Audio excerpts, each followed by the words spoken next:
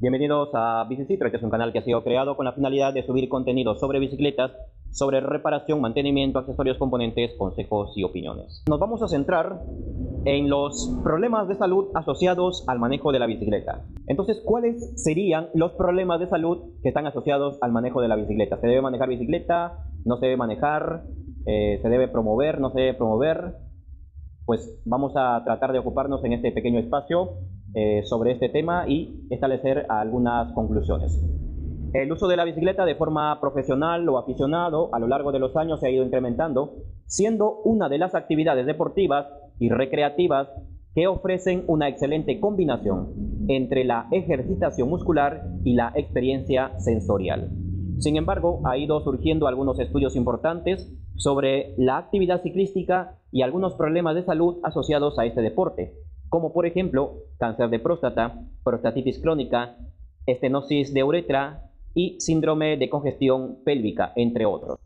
Algunos de estos estudios, unos más concluyentes que otros, como por ejemplo en el 2013, los investigadores australianos del Instituto de Deporte de Victoria publicaron un estudio en la revista Pass One, en la cual concluían que los hombres de 50 a 70 años que manejaban bicicleta por largas distancias son propensos al cáncer de próstata, ya que se notaba un aumento considerable del PSA, que viene a ser un tipo de proteína que producen las células normales, así como las células malignas de las glándulas prostáticas. Entonces, según este estudio de estos investigadores australianos, en las personas de 50 a 70 que manejaban por largas, largas distancias, se incrementaba el PSA en la sangre, ¿correcto? Así que su conclusión eh, llegó a afirmar de que eh, manejar bicicleta en estas edades evidentemente estaba muy relacionado con el tema del cáncer de próstata. Eh, su estudio tomó como muestra a 120 varones de las edades mencionadas. sin embargo, en el 2015, también un grupo de, de expertos, pero en este caso kinesiólogos de Canadá, también se centraron en tratar de resolver este dilema si es que el manejo de bicicleta está asociado a estos problemas de salud entonces reunieron a un grupo evidentemente mucho más pequeño, de ocho personas, para poder ver si los problemas de la próstata están o no relacionados al manejo de la bicicleta. Aunque fue una muestra bastante pequeña, sus conclusiones fueron las siguientes.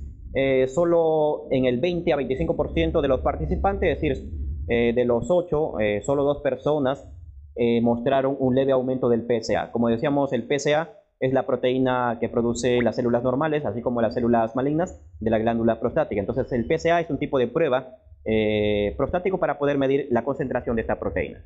Entonces, eh, en el estudio de estos eh, kinesiólogos de Canadá, se vio que el, leve aumento del PSA solo se dio en, dos personas de 8.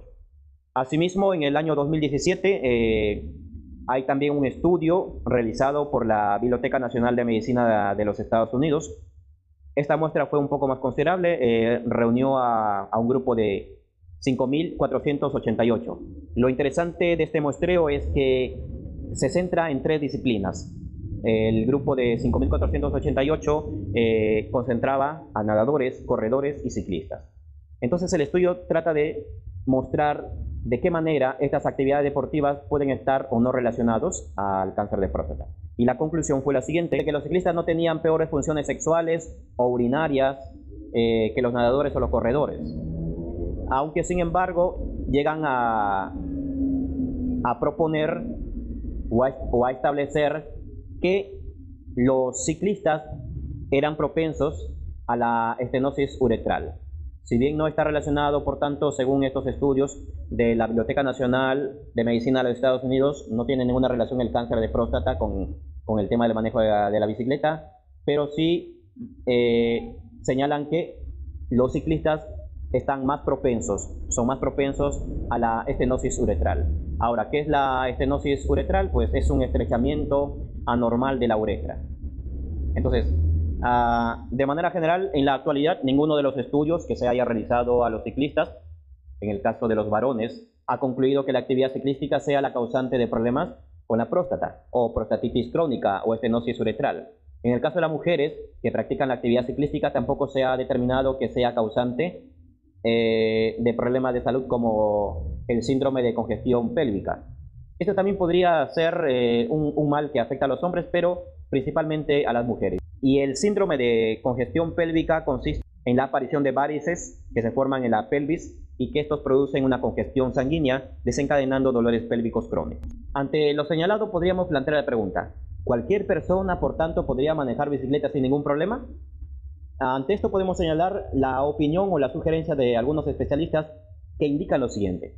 Si sufres alguno de los problemas mencionados anteriormente, es decir, prostatitis crónica, estenosis de uretra, síndrome de congestión pélvica, en el caso de las damas, no se debería manejar bicicleta.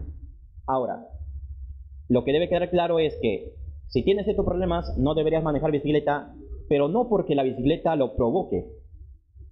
Es decir, no es, el, no es la actividad ciclística la que provoca el surgimiento de estos problemas, sino que si es que tú tienes alguno de estos males, el manejo de la bicicleta podría empeorar los síntomas.